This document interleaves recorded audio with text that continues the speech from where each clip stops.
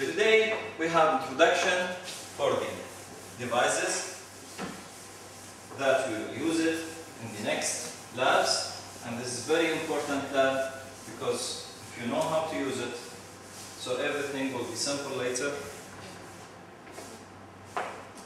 We'll start. First give me this key.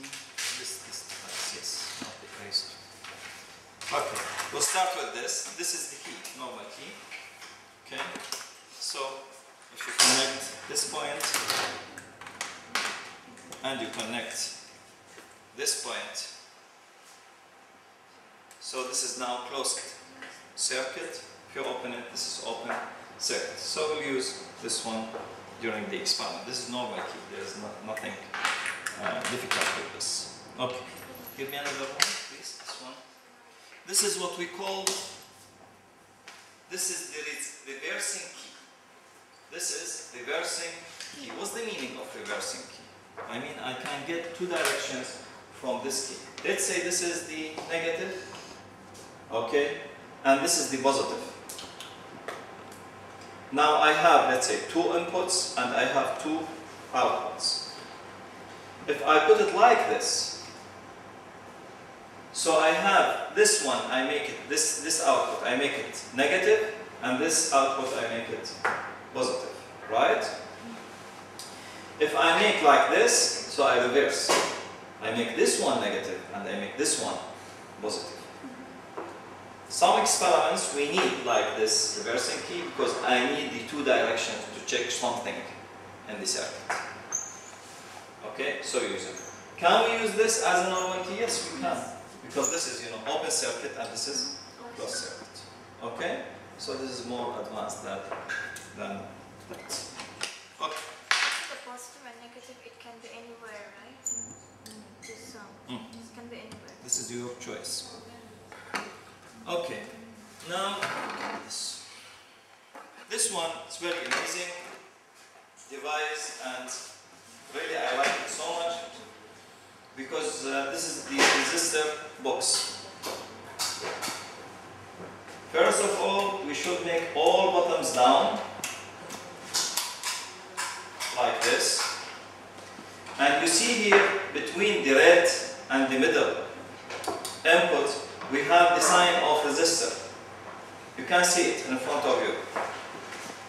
You have the resistor box, okay, so you can see it. So when I connect this to the circuit, I should use this one, okay, and this one. This one and this one. Because this one is ground. How can I get the value? Give me any value of resistor. You know the resistor is measured by ohm. Right? Give me any value. Just tell me that I want this value of the resistor. Huh? Five only? Five ohm. See, this is, I have here two and I have a three. Two plus a three, Five. this is give me five. You want, let's say, 674 ohm. I mean, 674. 600, this is the, 600 is 4, sorry, 400 and 200. This is give me 600, right? 70, give me, this is 4, 40 and 30. This is 70, right? So this 670, right? And 4, I have this 4. I will tell you about the other kind. We have so many kinds of the resistor box. This is also resistor box.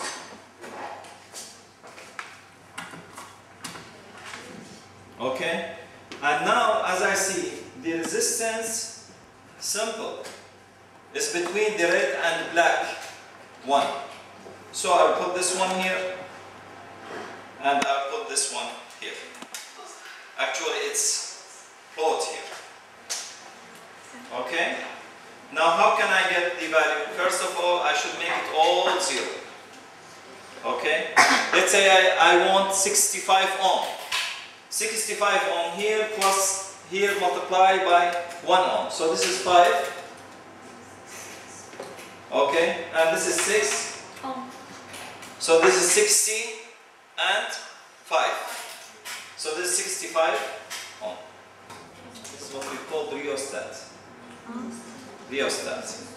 Rheostat means resistance that I can change it from zero to some value. Okay? So here, he mentioned here 100 ohm. Some of you is 320 ohm. Okay? We have different types. Here mentioned 100 ohm mean I can change the resistance of this from 0 to 100 ohm. Okay? But be careful. I have here three terminals. I have here three points. Two here and one here. Two blacks and one red. When I check this one, this one is connected to the end of the wire. Here I have wire.